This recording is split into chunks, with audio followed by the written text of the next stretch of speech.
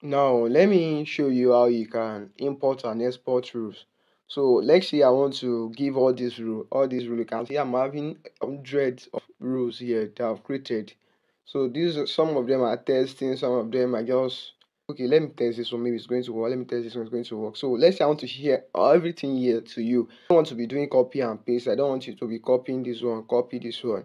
All I have to do is like I come to this place, I click on import and export so I the one I want to do I like let's I want to share it with you. That's s like that's export. Like I want to share from here. You know, export and import and export now. Just like you are importing something from another country and you are exporting something from Nigeria to another country. You grab or from your country to another place. That's export. So here now I to export it from my rules from my phone to your phone. So I just click on export rules. So without contact, that means I want to export all the rules that's having here that is here. So i'll just name it i will name it with let's say i name it with bala blue bala let me see this one. Let's say i just name it with something like this. So it has been saved see back also says it has been saved to my phone. Even when i lose auto respond i lose my phone. In as much as i'm having that csv it is saved in form of csv file so that's why i just copy all my csv file i put them in my telegram private channel or i put them my email address so that it can back up my phone you grab then if I want to share a certain rule to you, let's say I want to share this rule for my boat now. So boat for for English press one, for this one press one, you grab that that kind of thing. So start having several things. You can see it's having sub rules. These are sub rules. It's having a lot of sub rules under sub rules. Let's say I want to share this rule with you now. So I will just click on export without contact. Export without contact. Its content is for those auto saving like those are using the 40k they will understand what i'm trying to say. Like you know this one is working with your normal this app that will save the contact you grab. So i don't want to expose all this stuff here. Then without contact you save it. This one will be for the um let's say customer care rule. Customer care rule. You grab. So this one it will be saved automatically so you can now edit it. Let's say i forward it i forward it to you on whatsapp now. You just let's say you want to you want it to you want to bring it to your own whatsapp. All you have to do is like come to this this same place click on import and export. So me i export it. So if you want to do it you import rules. You click on import add. Then you just add the one that because it will be here. Customer care blah blah blah this one. So i just you just tap on it and it will be it's everything will come back to this place. I don't want to let's say I want to do it. Let's let's just test something. Let's test. I really love to to give example of what I'm doing. So this let's say I want this customer care rules to come now. It's in rules imported. So it will be the last one here. It will be the last one because that's the new rule. I just you see this is it here. Both start start this one. So I don't want it to be twice. So I will I will either off it or I delete like this. So I don't want it. Now that's just the simple way you can import and export your rules. Maybe you want to share it with your friend you want to share it with your students and all of them.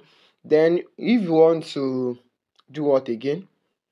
I think that's that's everything. If you want to test it let's you want to test your similarity match your similarity match I explained that is for people that are using the normal autosave. If you are using the vertical to save, you don't need the similarity match most times. You really you really don't need it. You don't need it. So what you need is maybe let's say someone is coming through a phone here like hello Mike Accolade i am interested in interested in blah blah blah blah blah this you grab you grab this one i am i am interested in hello i am interested in mmmm my let's say my name is my name is no this let's say this you this is a custom message that you put in your in your whatsapp link. So let's say some people are coming from whatsapp tv whatsapp ad influencers facebook ad and all of them. So let's say they are coming with hello my calculator i'm interested in my name is let's say your name is this.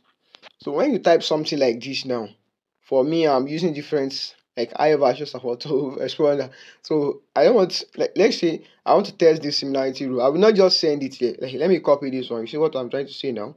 Select all like all like this. Then send. So this one will not reply because see wow. See this one it's it has like this place task like this my name is you can see it picks the name like what they mention their name with.